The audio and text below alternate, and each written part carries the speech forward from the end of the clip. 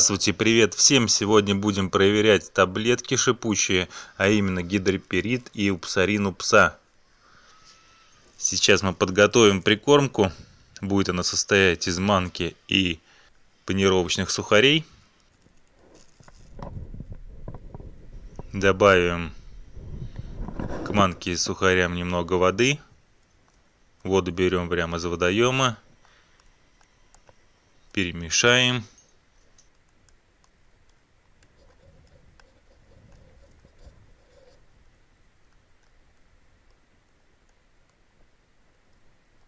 Сделаем самую обычную простую прикормку.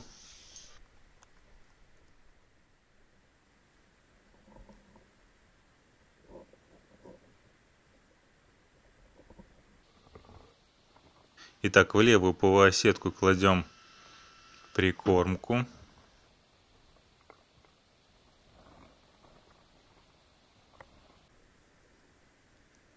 И добавляем две таблетки гидроперита.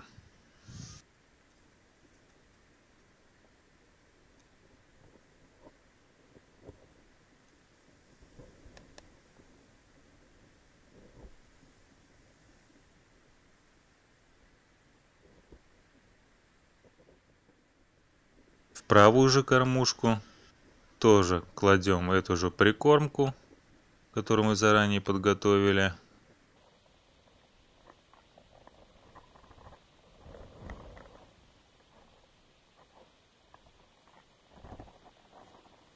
но в ней будут две таблетки упсарин упса тоже шипучие таблетки.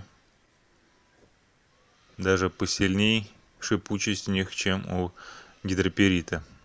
Завязываем и погружаемся на глубину три с половиной метра. Речка с течением. На дворе осень октябрь вода уже достаточно холодная, рыба становится менее активная.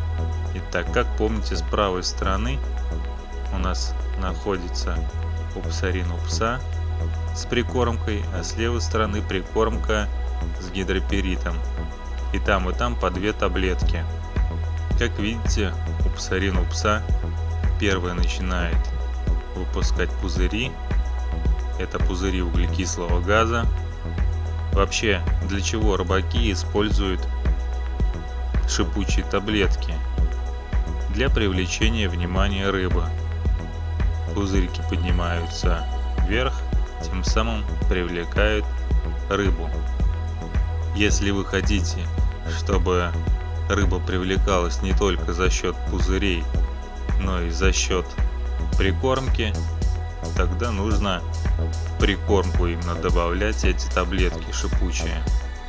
Тем самым пузырьки, поднимаясь вверх, будут за собой по инерции поднимать мелкие частички прикормки. И, конечно же, рыбе это безусловно понравится. Как видите, у псарин пса быстро вступил в реакцию с водой и выделяет много пузыриков. Гидроперид же пока молчит. Пузырики быстро начинают разрушать прикормку. Тем самым прикормка начинает быстро работать. Пузырики поднимают за собой прикормку, тем самым создают муть. Мелкие частички сносят течением в другую сторону. Тем самым создается так называемая тропа, по которой рыба будет подплывать все ближе и ближе к нашей основной прикормке или к точке лова.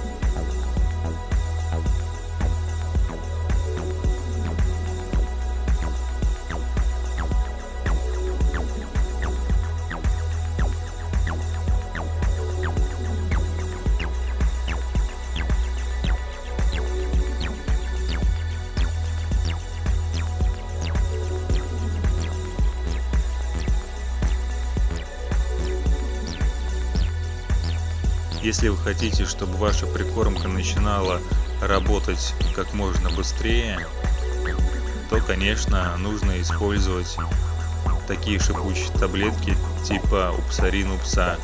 Если же вы хотите, чтобы прикормка потихоньку, но дольше привлекала рыбу, тогда нужно использовать именно гидроперит. Далее решать вам, что вы хотите добиться от своей прикормки, какого именно результата. Упсарин у пса полностью растворился в течение 10-12 минут. Гидроперид же работал в прикормке около 40 минут. Чем вода холодней, тем соответственно время будет увеличиваться. Как видите, прикормка у нас постоянно находится в движении. Мелкие частички постоянно поднимаются и уплывают. Рыбы их подхватывают периодически. Рыба так и держится возле нашей прикормки.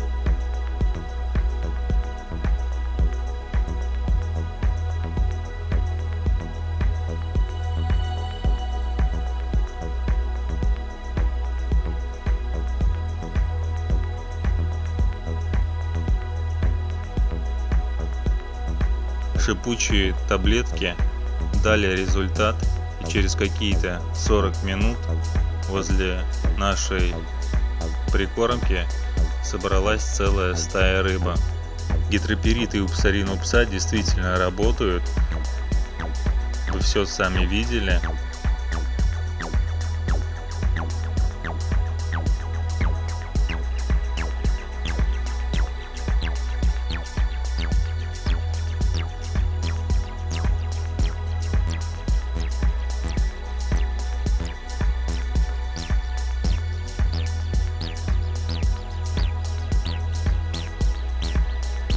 Кому понравилось это видео, ставьте палец вверх. Подписывайтесь, кто не подписан. Всем удачи и до новых встреч!